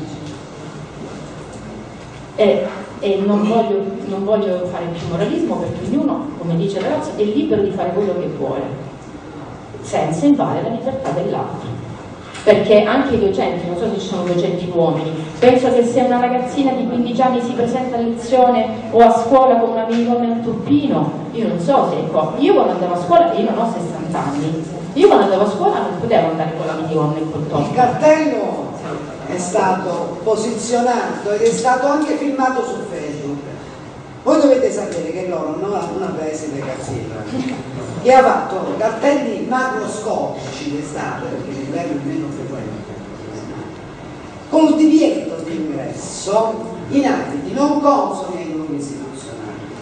La ragione per cui questo è avvenuto era proprio il rischio, rappresentato da un abbigliamento troppo succinto, per maschi come per donne, perché alcuni maschi erano indecenti parimenti alle donne il che comunque dispone a mio avviso anche esteticamente male. Quel cartello loro lo hanno fotografato e mi hanno, come dire, ecco come si vive al Galluppi, mi hanno fatto attaccare. Ma io sono stata felicissima di vederlo, dico, vedete come diventa, come si diffonde, così lo sanno tutti. Io vengo dal Galluppi, cioè io ho fatto il giornalismo Galluppi, quindi io so il senso. Grazie a chi ha avuto il coraggio di intervenire nella platea e grazie a, a chi ha avuto, la pazienza di ascoltarci, sì sì, anche spinto, diciamo. però è, diciamo che è un modo per puntare sul coraggio di ognuno di noi per cambiare la società, insomma, quel ringraziamento. E grazie per uh, averci ascoltato, affidiamo diciamo, il ragionamento conclusivo, le conclusioni a Matteo Cosenzi che è il direttore del quotidiano della Calabria. Grazie a tutti. Delle conclusioni, ma semplicemente la, la mia opinione su questa interessantissima e stimolante discussione, su questo incontro davvero importante. Ce ne fossero eh, molti dirò anche qualcosa su quest'ultimo punto, su ho un'opinione leggermente diversa da quelle che mi hanno preceduto, ma uh, vorrei dire che il problema che qui abbiamo toccato è di una vastità dire, storica, eh, geografica, eh, sociale, economica e di genere eh, incredibile, straordinaria. Ieri sera eh, c'era una bella scelta televisiva perché Festival di Sanremo mette in moto una concorrenza eh, notevole su altri ritmi e dovendo scegliere tra Apocalypse Now eh, la versione integrale o altro per non scegliere Sanremo che è come una medicina cade sul tessere degli italiani ogni anno mi sono ribattuto su un film di Rai, trasmesso su Rai 5 film straordinario che è stata una sorpresa perché per caso mi sono, mi sono fermato a vederlo e non l'ho mollato più, tecnicamente peraltro perfetto, una fotografia in bianco e in nero come si usava ai tempi d'oro, uh, un film in nastro bianco ambientato in una, in una città, piccolo paesino, una piccola cittadina tedesca alla vigilia della prima guerra mondiale. Un paese dove, dominato da una cultura protestante molto forte, molto, molto chiusa, molto, che crea all'interno di questa comunità una violenza sottile, prima impalpabile, poi diventa materiale, concreta, che come, come qualcosa di eh, ineluttabile passa da, da, da, da, famiglia a famiglia, da, uh, familiare a familiare, come una sorta di vasi comunicante per cui tutta questa violenza rimane compressa perché è il risultato di una cultura che eh, codificata, ferma, rigida, rigorosa e che alla fine si trasferisce sulle vittime che sono i bambini di questo, di questo paese che a loro volta diventano dei carnefici di una crudeltà impareggiabile, illimitata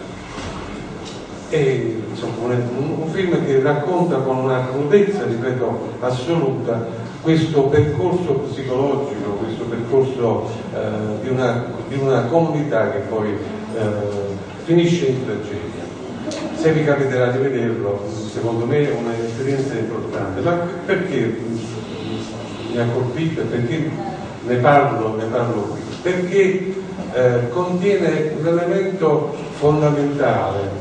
Quando c'è il sonno della ragione e prevale l'ignoranza, l'ignoranza non, non, è, non è perché lì c'è una scuola che funziona, ci sono eh, dei codici di comportamento, dei codici culturali che funzionano, e però il risultato è appunto tragico, falso. Il problema non è solo quindi l'ignoranza, che è un dato di fondo, ma è anche che tipo di cultura si trasferisce, che tipo di, di messaggio viene trasferito. Il messaggio della imposizione, dell'intolleranza è sicuramente il germe fondamentale che alimenta qualsiasi tipo di razzismo, perché è mancanza di rispetto degli altri, della, dell'autonomia intellettuale dell'altro. Questo è il, è il, secondo me è il dato, è un dato storico, non è, eh, abbiamo vissuto in questo secolo, nel secolo che abbiamo alle spalle, eh, eh, tragedie inenarrabili che qui sono state ricordate, ma non sono le uniche, non solo di quel secolo, ma le uniche della storia, la storia è fatta di violenza, di, di, di genocidi, di, di, guerre senza illimitati, cioè la, vita dell'uomo è un conflitto, una tensione permanente che eh, spesso si trasforma in bagno di sangue, in negazione di tutte le libertà.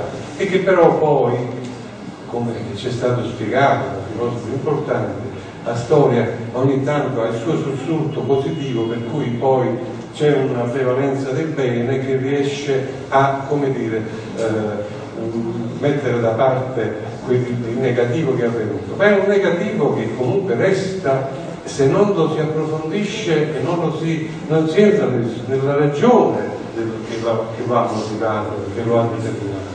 Allora io credo che il problema, il problema uh, fondamentale è della formazione del clima nella libertà effettiva, come valore autentico, significa innanzitutto libertà di sé, ma rispetto della libertà degli altri, è il punto decisivo della, della, della nostra esistenza, che uh, va tenuto presente.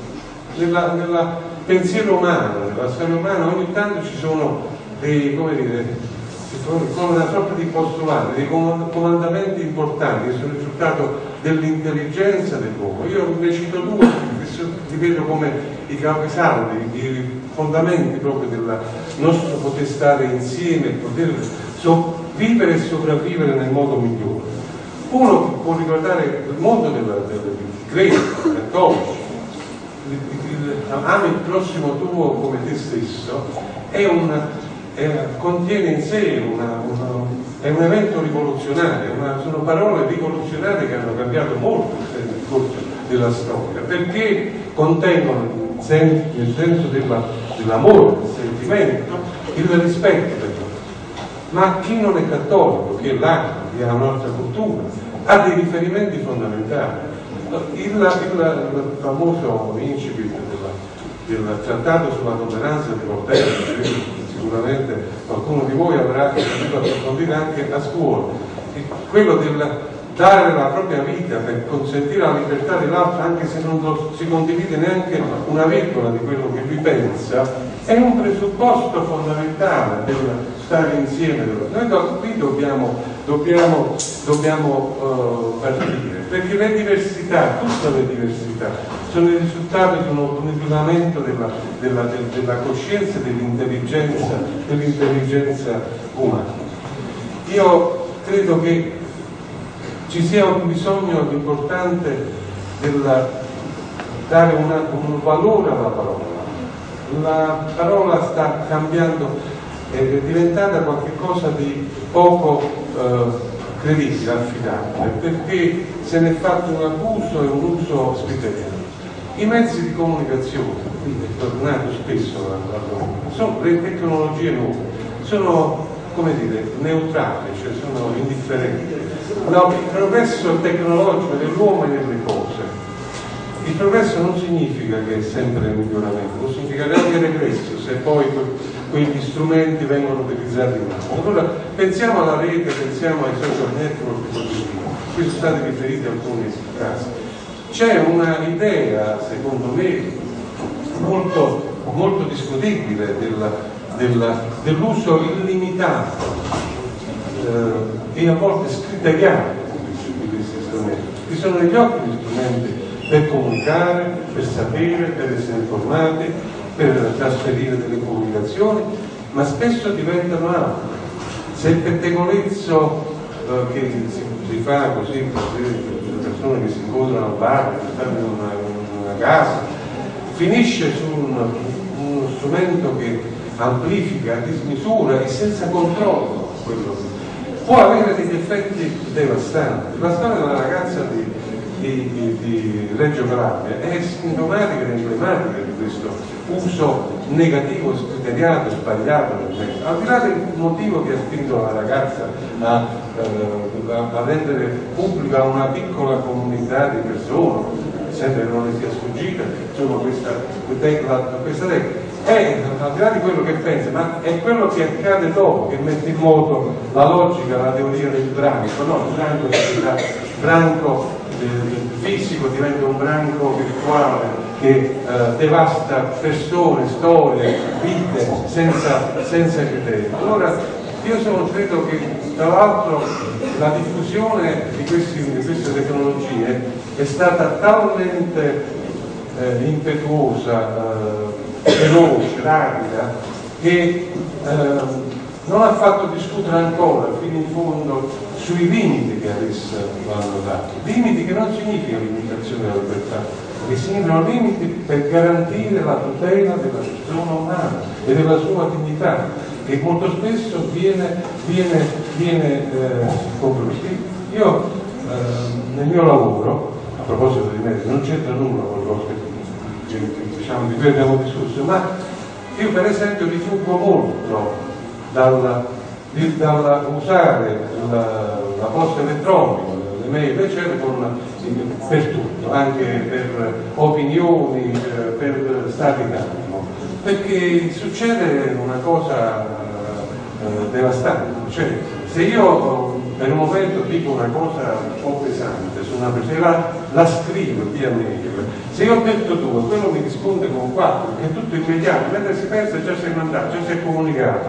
E, e allora io poi rispondo con, otto, con un meccanismo che poi facilmente si può allargare, perché basta, basta una, una, una mail list, una cosa qualsiasi, e la cosa si allarga e diventa. Come per fare un esempio un po' ardito, le fai una volta, per cui dopo 40 morti da una parte e 30 dall'altra, nessuno sapeva da dove era iniziato il- questa faida, per quale motivo era scoppiata. E così può succedere, può succedere cioè, nel senso di lacerazione di rapporti, equivoci, confusioni e così via, al di là invece del contatto fisico, che secondo me guardarsi negli occhi carne ed ossa che è una delle cose migliori, ma anche, con- anche il rapporto epistolare di una volta che consentiva, mentre si scriveva una lettera, la si mandava, c'era il tempo di puntare e così via. Ora io la, io la finisco, allora io, io la finisco soltanto con, con- con, eh, una cosa sull'opinione, sull'opinione di provocare o stentare Stato. Non sono d'accordo, non sono d'accordo. Ognuno il problema è certo, c'è una crisi del maschio, dello- perché eh, il ruolo del storico del- dell'uomo è cambiato e quindi nel momento, in cui la donna assume un ruolo mette in crisi, in crisi il maschio. Però il problema degli istinti, gli istinti vanno controllati. Io l'idea che se l'è cercato, siamo riparati, no, non sono d'accordo. Ognuno si vesta, faccia quello che crede.